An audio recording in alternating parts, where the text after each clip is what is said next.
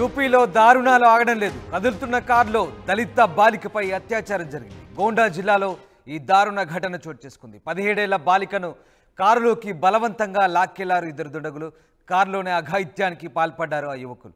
నిందితులు మహమ్మద్ ఆరిఫ్ మహమ్మద్ రిజ్వాన్గా గుర్తించారు. బాధితురాలి తల్లి ఫిర్యాదుతో నిందితులను అరెస్ట్ చేశారు. పోలీసుల విచారణలో విస్తుపోయే నిజాలు బయటపడ్డాయి. బాలికను నిర్మానుష్య ప్రదేశానికి తీసుకెళ్ళి కదులుతున్న కారులోనే దారుణం జరిపినట్టుగా తెలుస్తోంది. దీనికి సంబంధించిన వివరాలు పోలీసులు వెల్లడించారు. కారు విద్యుత్ స్తంభానికి ఢీకొట్టడంతో బాలికను వదిలేసి యువకులు పరారైనట్టుగా తెలుస్తోంది. ఉత్తరప్రదేశ్ గోండా జిల్లాలో ఈ దారుణం జరిగింది. పదిహేడేళ్ళ దళిత బాలికను కారులోకి బలవంతంగా లాక్కెళ్ళారు ఇద్దరు దుండగులు. ఆమెపై అత్యాచారానికి పాల్పడ్డారు. శనివారం జరిగిన ఈ ఘటన ఆలస్యంగా వెలుగులోకి వచ్చింది. నిందితులను మహమ్మద్ ఆరిఫ్ మహమ్మద్ రిజ్వాన్గా గుర్తించామని బాధితురాలి తల్లి ఫిర్యాదు మేరకు వారిని అరెస్ట్ చేశామని పోలీసులు అంటున్నారు. బాలికను నిర్మానుష్య ప్రదేశానికి తీసుకెళ్ళి కదులుతున్న కారులోనే ఈ దారుణానికి ఒడిగట్టారంటూ పోలీసులు వెల్లడించారు. ఈ క్రమంలో కారు విద్యుత్ స్తంభానికి ఢీకొట్టడంతో వాహనాన్ని బాలికను అక్కడే వదిలి పరారయ్యారని పోలీసులు చెప్తున్నారు. వైద్య పరీక్షల కోసం ప్రస్తుతం బాధితురాల్ని ఆసుపత్రికి తరలించామని పోలీసులు చెప్తున్న పరిస్థితి. మీరు ఆర్టీవీ స్క్రీన్పై చూస్తున్న దృశ్యాలే ఆ ఇద్దరు దుర్మార్గులు ఇద్దరు నిందితులు ఇద్దరు కూడా ఓ మైనర్ బాలికను పదిహేడేళ్ళ దళిత మైనర్ బాలికను అత్యాచారానికి ఒడిగట్టారు. అది కూడా కదులుతున్న కారులో. ఎంతటి దుర్మార్గం ఎంతటి దుర్మార్గం. మహమ్మద్ ఆరిఫ్ మహమ్మద్ రిజ్వాన్లట వాళ్ళ పేర్లు. ఒకసారి ఆ దుర్మార్గులు చూడండి. ఓ బాలికను నమ్మించి బలవంతంగా కారులోకి తీసుకెళ్ళి నమ్మించి కాదు బలవంతంగా కారులోకి తీసుకెళ్ళి దుర్మార్గంగా కారులో ఎక్కించుకొని కదులుతున్న కారులోనే అత్యాచారానికి ఒడిగట్టారు. అసలు యూపీలో ఏంటి ఈ దారుణాలు? ఎందుకు జరుగుతున్నాయి ఈ దారుణాలు? యూపీలో సర్కార్ ఎన్ని చర్యలు తీసుకుంటున్నా ముఖ్యంగా ఇలాంటి వారిపై ఉక్కుపాదం మోపుతున్నా కూడా దారుణాలు ఆగడం లేదు. ఇప్పుడు కదులుతున్న కారులోనే ఆ దళిత బాలికపై అత్యాచారం జరిగింది. అది కూడా పదిహేడేళ్ళ ఓ మైనర్ బాలికను. ఎంతటి వేదన అనుభవించిందో కదా. ఆ మైనర్ బాలికను ఆ కదులుతున్న కారులో బలవంతంగా లాక్కెళ్ళి కారులో ఎక్కించుకొని అఘాయిత్యానికి పాల్పడ్డారు ఈ ఇద్దరు దుర్మార్గులు. ఈ ఇద్దరి పేరు కూడా మహమ్మద్ ఆరిఫ్. మహమ్మద్ రిజ్వాన్. ఈ ఇద్దరు ఒక్కసారి చూడండి ఆ దుర్మార్గుల్ని. ఆ ఇద్దరు దుర్మార్గులు కూడా నిజంగా ఎన్కౌంటర్ చేసిన తప్పలేదనే విమర్శలు వెల్లువెత్తున్నాయి. ఎన్కౌంటర్ చేసిన తప్పలేదనే వాదనలు కూడా వినిపిస్తున్నాయి. ఇలాంటి దుర్మార్గుల్ని వదలకూడదంటూ స్థానికంగా విమర్శలు వెల్లువెత్తున్నాయి.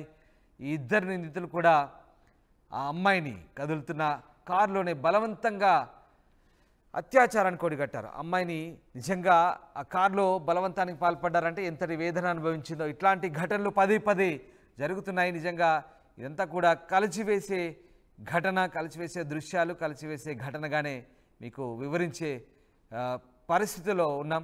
నిజంగా బాధితురాలి తల్లి ఫిర్యాదుతో నిందితులను అరెస్ట్ చేశారు. పోలీసుల విచారణలో విస్తుపోయే నిజాలు బయటకు వచ్చాయి. ఒక నిర్మానుష్య ప్రదేశానికి తీసుకెళ్ళారంట. అక్కడే ఆ కదులుతున్న కారులోనే దారుణానికి ఒడిగట్టినట్టుగా పోలీసులు నిర్ధారించారు. ఇక విద్యుత్ స్తంభానికి కారు ఢీకొట్టడంతో బాలికను అక్కడే వదిలేసి ఆ యువకులు పరారైనట్టుగా తెలుస్తుంది. ప్రస్తుతం ఆ ఇద్దరు నిందితుల్ని కూడా పోలీసులు అరెస్ట్ చేసి ఇక విచారణ చేపడుతున్నారు. ఆ ఇద్దరు నిందితులపై కూడా కఠిన చర్యలు తీసుకునే అవకాశాలు కనిపిస్తున్నాయి. భవిష్యత్తులో ఇలాంటి ఘటనలు చోటు చేసుకోకుండా మళ్ళీ వీరిపై తగిన చర్యలు తీసుకోవాలంటూ యూపీ వ్యాప్తంగా కూడా నిరసనలు వెల్లువెత్తున్నాయి.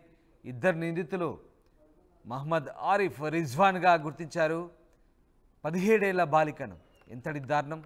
ఇలాంటి ఘటనలు యూపీలో తరచుగా చోటు చేసుకుంటున్నాయి. యూపీలో నేర ప్రవృత్తి చాలా తగ్గిందని చెప్తున్నప్పటికీ కూడా ఇంకా ఆ ఘటనలు ఆగడం లేదు. ముఖ్యంగా యోగి సర్కార్ వచ్చిన తర్వాత గ్యాంగ్స్టర్లని ఎన్కౌంటర్లు జరుపుతున్నారు. అలాగే నేరస్తుల్ని పట్టుకుంటున్నారు. ఇలాంటి వారిపై వాళ్ళ ఇళ్ళపై బుల్డోజర్లు ప్రయోగించి ఆ నేరస్తుల ఇళ్ళను నేలమట్టం చేసినప్పటికి కూడా ఎక్కడ ఆగడం లేదు. ఎస్ ఎక్కడ ఆగడం లేదు. పైగా ఇలాంటి దారుణాలను పోలీసులు ఎంత నియంత్రించే ప్రయత్నం చేసినప్పటికీ కూడా చాలా చోట్ల ఇలాంటి ఘటనలు జరుగుతున్నాయి. ముఖ్యంగా దీనంతటి కారణం నిరక్షరాస్యతే ఎస్ నిరక్షరాస్యతే ఇలాంటి దారుణాలకు పురుగొల్పుతోంది. ఎందుకంటే చదువుకొని ఉంటే ఉద్యోగాలు చేస్తే ఇలాంటి పిచ్చి పిచ్చి వేషాలు వేయకుండా ఇలాంటి నేర ప్రవృత్తికి ఒడిగట్టకుండా ఉండే అవకాశం ఉంది. కానీ యూపీలో ఎక్కువగా గ్రామీణ ప్రాంతాల్లో మారుమూల ప్రాంతాల్లో ముఖ్యంగా కుల వ్యవస్థ కూడా ఇది ఒక కారణంగా చెప్పవచ్చు. అంటరానితలం కుల వ్యవస్థ ముఖ్యంగా ఇలాంటి ఘటనలకే ఒక రకంగా అక్కడ బలవంతంగా ఇలాంటి ఘటనలు జరిగేందుకే ఒక రకంగా ప్రేరేపితం అవుతున్నాయి అయినప్పటికీ కూడా ముఖ్యంగా నిరక్షరాస్యత కూడా తోడవుతుంది. ఇలాంటి ఘటనలు చోటు చేసుకుంటున్నాయి. ముఖ్యంగా గ్రామీణ ప్రాంతాలు యూపీలోని మారుమూల ప్రాంతాల్లో ఇలాంటి నేర ప్రవృత్తి పెరుగుతున్న నేపథ్యంలో ప్రభుత్వం ఎన్ని చర్యలు తీసుకుంటున్నా ఎంత కట్టడి చేసినా నేరస్తుల ఇళ్ళను బుల్డోజర్లతో కూల్చివేసినా కూడా ఇవి ఆగడం లేదంటే మనకు అర్థం చేసుకోవచ్చు. ఆ నిందితులు చూడండి మహమ్మద్ ఆరిఫ్ మహమ్మద్ రిజ్వాన్ అంట ఇద్దరి పేరు ఆ ఇద్దరు కూడా ఈ దారుణాన్ని కొడిగట్టారు. బాధితురాలు తల్లి ఫిర్యాదుతో వాళ్ళని అరెస్ట్ చేశారు. ఈ ఇద్దరు నిందితులపై కఠిన చర్యలు తీసుకోవాలంటూ యూపీ వ్యాప్తంగా విమర్శలు వెల్లువెత్తున్నాయి పోలీసుల విచారణ అయితే విస్తుపోయే నిజాలు బయటపడ్డాయి. సో కదులుతున్న కారులో ఓ నిర్మానుష్య ప్రదేశానికి తీసుకెళ్ళే ప్రయత్నం చేశారు. ఇక ఆ కారు విద్యుత్ స్తంభానికి ఢీకొట్టడంతో బాలికను అక్కడే వదిలేసి పరారయ్యారు ఆ నిందితులు. ప్రస్తుతం ఆ బాలికను రెస్క్యూ చేసి బాలికను ఆసుపత్రికి తరలించి చికిత్స అందిస్తున్నారు వైద్య పరీక్షలు నిర్వహించారు.